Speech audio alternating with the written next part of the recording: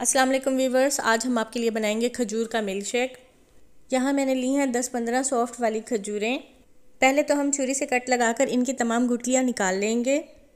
इसके बाद हम इसमें थोड़े से काजू शामिल कर देंगे। दस से बारह बादाम शामिल करेंगे। दो कप ठंडा दूध डालेंगे। खजूर का मिल्क शेक सेहत के लिए बहुत ही अच्छा है, स्पेशली बच्चों के लिए। अगर आपके बच्चे कमज़ोर हैं तो आप इन्हें डेली पंद्रह दिन खजूर का मिल्क शेक बनाकर पिलाएँ। तो पंद्रह दिन में ही आपको वाज फ़र्क नज़र आएगा। इसके बाद हमें चाहिए एक चम्मच तुख मलंगा। इसमें थोड़ा सा पानी डालकर इसे भिगो कर रख देंगे। नट्स और खजूर को ग्राइंडर में डालकर थोड़े से दूध में ग्राइंड कर लेंगे।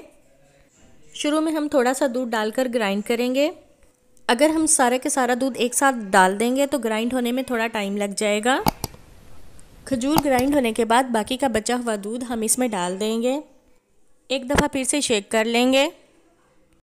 और साथ ही हम इसमें डाल देंगे आइसिंग क्यूब जितना ठंडा आप पसंद करते हैं, उतनी ही आइस इसमें डाल लें।